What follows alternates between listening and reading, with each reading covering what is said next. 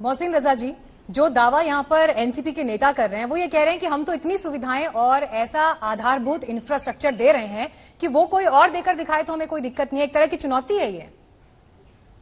देखिए, पहली चीज़ तो हम कलाकारों का सम्मान करते हैं, उनके सम्मान के प्रति और उनको अच्छा एक अवसर प्रदान कर रहे हैं आदरणीय योगी जी। और जिस पैशन से, जिस जुनून से वो कर रहे हैं, अपने आप में वर्ल्ड क्लास हम एक फ़िल्म सिटी बनाने जा रहे हैं, विकल्प के तौर पर दे रहे हैं। हम ये कभी कहा ही नहीं हमने कि हम बॉलीवुड शिफ्ट करने जा रहे हैं। हम व्यवस्था देने जा रहे हैं, सुरक्षा देने जा रहे हैं। वहाँ सुरक्षा नहीं है और व्यवस्थाएँ भी रचल पचल हो चुकी है। क्योंकि जिस तरह से बयान आ रहे हैं, आपको स्वागत करना चाहिए था उद्धव ठाकरे जी को या संजय राउत जी को। उन्होंने स्वागत नहीं किया। उन्होंने सीधा इनडायरेक्टली धमकाने का प्रयास किया और सीधा कहा, यहाँ से कोई नहीं ले जा सकता। इसका मतलब है कलाकारों को भी धमकी दी है, निर्माताओं को भी धमकी दे रहे हैं आप। अंडरवर्ल्ड के दबाव में आप काम कर रहे हैं। तो यहाँ पर ऐसा कुछ नहीं चलेगा यूपी में। यहाँ पर तो हम व्यवस्था भी देंगे सुरक्षा भी देंगे और हमारे पास तो एक से एक लोकेशन है वो उसका भी इस्तेमाल करेंगे जैसा कि अभी एक निर्देशक बोल रहे थे। तो हम्म। हमें कोई ऐसी बात नहीं है और हम कोई कंपटीशन नहीं हम तो एक विकल्प के तौर पर आपको दे रहे हैं एक अवसर दे रहे हैं कि आप यहाँ पर भी आकर करें।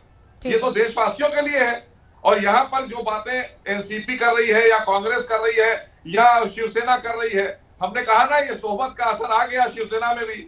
अभी जुमा जुमा आठ दिन हुए उनके साथ गए और वही अंडरवर्ल्ड की भाषा बोलने लगे। तो ये तो अंडरवर्ल्ड के दबाव में भाषा दी जा रही है। आप वहाँ पर जो निर्माता निर्देशक आदरणीय योगी जी से मिलने आए हैं इनडायरेक्टली उनको धमकाने का प्रयास हो रहा है कि यहाँ से कोई ले नहीं जा सकता मैं आ रही हूँ। आकाशदीप जी आपके पास आ रही हूँ। लेकिन पहले अविनाश जी आप हाँ। जवाब दीजिए क्या धमकाने की कोशिश है क्या? इस तरह के बयानों की क्या ज़रूरत थी? वेलकम भी तो किया जा सकता था ना। देश में तो एक साथ कई जगह पर फ़िल्म इंडस्ट्री काम कर रही है। साउथ में अलग इंडस्ट्री है बांग्ला फ़िल्मों की अलग इंडस्ट्री है पंजाबी फ़िल्मों की अलग इंडस्ट्री है। तो क्या तकलीफ़ है? अगर यूपी में भी एक इंडस्ट्री बनती है तो। नहीं नहीं बिल्कुल तकलीफ़ नहीं है। हम स्वागत करते हैं। मैं तो ऑफिशियली कह रहा हूँ आपको कि स्वागत करते हैं। लेकिन शायद कुछ बयानों को गलत लिया जा रहा है ऐसा मेरा मानना है। मुझे नहीं लगता कोई इसमें आपत्ति है कि वहाँ पर अगर कोई वो प्रोविज़न करते हैं और उसमें लोगों को अगर फ़ायदा होता है, लोग जाने को तैयार होते हैं तो उसमें कोई दिक्कत नहीं है। अब इसमें जब राजनीति गर्माती है, आप इस तरह से बयान करेंगे कि अंडरवर्ल्ड के प्रेशर में आके शिवसेना ये कह रही है, या कांग्रेस कह रही है एनसीपी कह रही है, ये गलत बात है। ये अंडरवर्ल्ड जो है, वो आपके यूपी में से तो पैदा हुआ था वो, कौन सा वो अलीगढ़ या कौन सी है वो जगह, वहाँ से तो सारे अंडरवर्ल्ड वाले मुंबई में आते हैं। तो आप क्या बात कर रहे हैं? कि अंडरवर्ल्ड के धमकाने से ये हो रहा है वो हो रहा है? हमारा ये कहना है कि एक अच्छा माहौल एक अच्छा वातावरण अगर हम प्रोवाइड कर सके किसी भी इंडस्ट्री के लिए तो फ़ायदा तो देशी का होगा। हम्म, ठीक है। हमारे आप पहले वहाँ कोई नहीं जा रहा था तो आपने वहाँ पर स्कीम लाई थी कि भाई यहाँ आकर आप शूटिंग करिए। आप यहाँ पर आकर इतने दिन फ़िल्म एक साथ आपसे जवाब लूँगी। एक बार आकाशदीप जी कमेंट करना चाहते हैं वो बोलने पहले। बोलिए। हाँ मैं एक इस बात से टोटली डिसएग्री करता हूँ कि कोई भी बॉलीवुड का रुबाब या दबाव बॉलीवुड पर है अंडरवर्ल्ड का। ये आ, कहना ही गलत है कि अंडरवर्ल्ड के दबाव में या तो गवर्नमेंट कर रही है या बॉलीवुड आ रही है।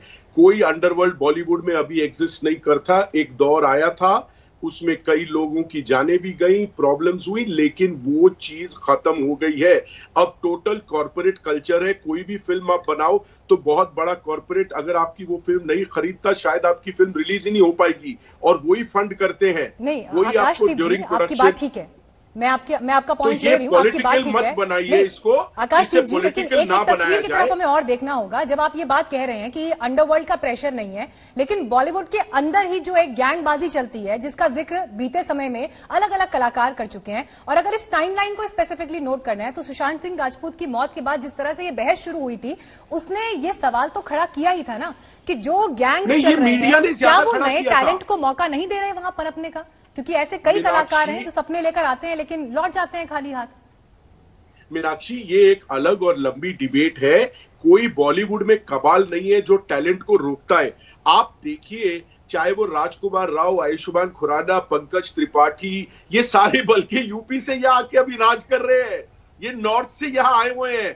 कोई रोकता नहीं है टैलेंट को अगर आपके अंदर काबिलियत है किसी का बाप आपको नहीं रोक सकता। सर बहस इसी बात को लेकर थी ग्रुप है सुनिए सुनिए लास्ट लाइन कि नवाजुद्दीन सिद्दीकी को नवाजुद्दीन सिद्दीकी अगर आए हैं बॉलीवुड में उन्हें उनका संघर्ष कितना लंबा रहा?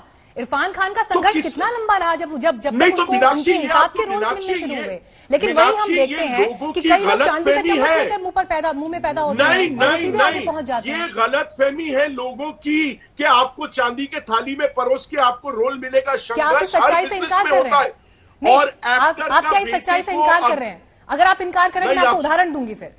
आप मैं इनकार कर रहे आपको हैं बत, मुझे बोल मुझे खत्म करने दीजिए। मैं कह रहा हूँ संघर्ष के बिना कोई काम नहीं मिलता। रही बात अगर आप कहते हो कि किसी एक्टर के बेटे को आसानी से ब्रेक मिलता है ब्रेक हम्म। मिल सकता है। आपका स्ट्रगल थोड़ा कम हो सकता है लेकिन पब्लिक के ऊपर है ना आपको पसंद करना आज अमिताभ बच्चन से लेके शाहरुख खान से लेके अक्षय कुमार किसी एक्टर के बेटे हैं? नहीं ना?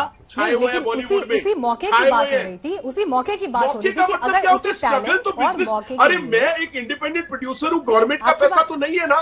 अगर मुझे कोई नोन नेम लेके ज़्यादा पैसा मिलता है या मेरा कॉस्ट इन्वेस्टमेंट रिकवर होता है तो मैं नए आदमी को कैसे ब्रेक दूँ?